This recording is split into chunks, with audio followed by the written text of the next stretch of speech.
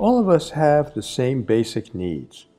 It's always possible, in principle, to find a win win solution. So, this is the idea of nonviolence. Instead of a me against you, it's you and me against the problem. A win win solution is one in which we both come out ahead. And the great secret underlying nonviolence, I almost said underlying life, is that every single conflict we face really can be resolved in a win win structure. There really is no basic, insoluble problem. There are problems with strategy, but not problems with really basic needs. When we understand that, life and conflict resolution become a lot simpler.